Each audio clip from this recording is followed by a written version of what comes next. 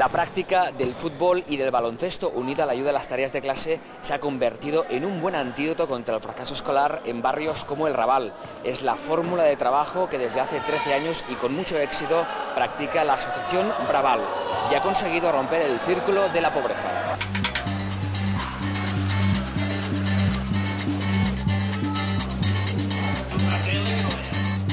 Kevin es uno de los 185 alumnos que cuando salen del colegio van al centro socioeducativo Braval porque en sus casas no encontrarán a nadie. Es una buena alternativa a la calle. Aquí trabajan para que se comprometan con sus estudios y su futuro. Espérate, te lo busco y buscas la tercera conjugación.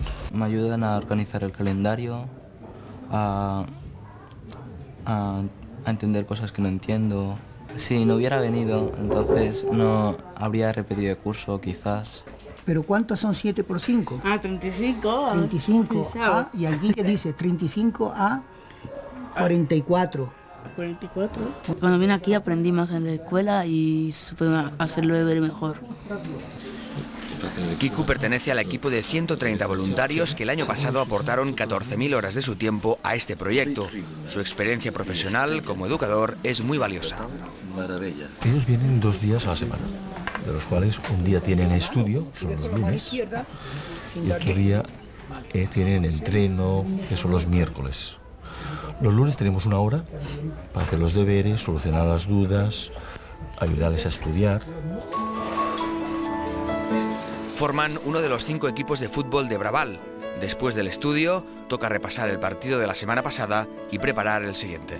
Y sobre todo jugar en equipo, porque no puede, no puede ser que siempre ganemos por, por jugadas individuales o de buba. O... A ellos les ayuda el deporte para que, que hagan piña entre ellos, que no hayan como guetos, tú eres tal, tú eres de otro. En la primera fase perdimos muchos, pero ya estamos remontando y a lo mejor ya nos pasan a donde están todos los equipos mejores.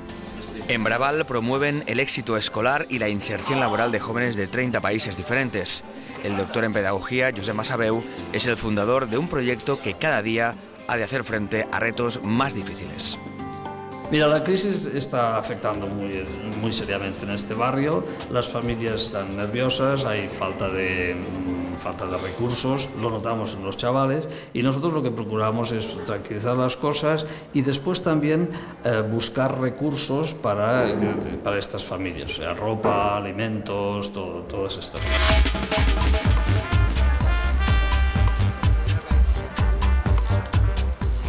Josep Masabeu acaba de publicar La República del Raval.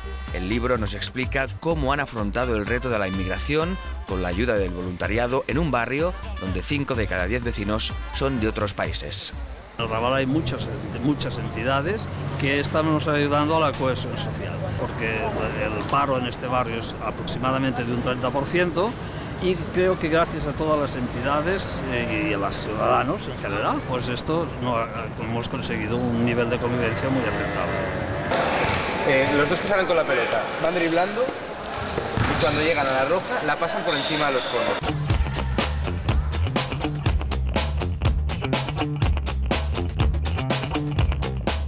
Juegan en la liga escolar. A través de la práctica del deporte se conocen mejor y descubren otros barrios de la ciudad. Eh, es divertido porque no somos todos iguales y es diferente, ¿sabes? Porque si jugáramos todos, fuéramos del mismo país, no sería tan, tan diferente. Soy el capitán y he de ayudarles en cosas que no saben hacer. Por ejemplo, a lo mejor no saben inglés y con que en mi país es el segundo idioma, pues yo les ayudo. Y cuando él la pase, tú te abres y la dejas pasar por debajo de las piernas.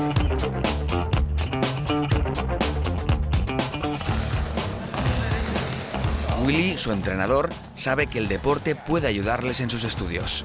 Se les controla las notas, hay alguno que ha suspendido tres, pues son partidos que hay que recuperar y no juega. Entonces yo creo que esto les ayuda y aparte eh, también se van a lo mejor si tienen algún problema en casa o en, la, o en la escuela y tal, y vienen aquí, han hecho piñas y lo pasan bien. O sea, yo creo que es esto básicamente. Las actividades de Braval sacaron a Dentex de la calle cuando era un niño. Ahora, a sus 21 años, estudia cuarto de económicas. Sigue vinculado a este proyecto como voluntario. Es entrenador de baloncesto uno de los deportes más practicados por la comunidad filipina. Tenía algunos amigos que vinieron al principio a Braval a hacer los deberes, decidieron no, no continuar en Braval y no acabaron los estudios, por ejemplo. Y empezaron trabajando a los 16 años y bueno, ahora les veo, me dicen que tengo mucha suerte, que me siguen animando a que acabe los estudios porque han tenido una vida bastante dura.